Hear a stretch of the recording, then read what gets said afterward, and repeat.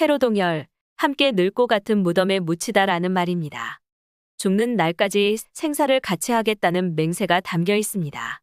미국의 제40대 대통령을 지낸 로널드 레이건은 퇴임 후 5년이 지난 1994년에 알츠하이머 병에 걸려 옛 친구들과 자녀들의 얼굴조차 알아보지 못했습니다. 하루는 레이건이 콧노래를 흥얼거리면서 몇 시간 동안 갈퀴로 수영장 바닥에 쌓인 나뭇잎을 긁어모아 깨끗하게 청소를 했습니다. 그 모습을 본 낸시 여사의 눈가에서 눈물이 떨어졌습니다.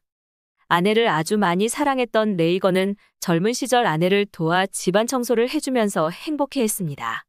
낸시는 그때를 생각하며 젊은 시절에 남편이 집안 청소를 해주면서 행복해하던 기억을 되살려주고 싶었습니다. 그날 밤에 낸시 여사는 경호원과 함께 남편이 담아버린 낙엽을 다시 가져다가 수영장에 몰래 깔았습니다.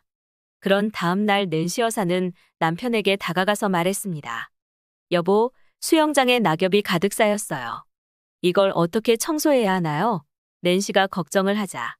레이건이 낙엽을 치워주겠다면서 일어나 정원으로 나갔습니다.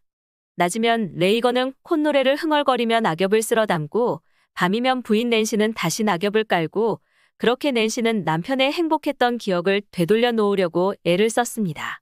이런 헌신적인 사랑의 힘 때문이었던지 레이건은 어느 누구도 알아보지 못할 정도로 기억력을 잃었지만 아내 낸시만은 확실하게 알아보았습니다. 레이건은 가끔 정신이 들 때마다 내가 살아있어서 당신이 불행해지는 것이 가장 고통스럽다고 한탄했습니다. 그러자 낸시는 레이건에게 말했습니다. 여보, 현실이 아무리 힘들고 고통스러워도 당신이 있다면 좋아요.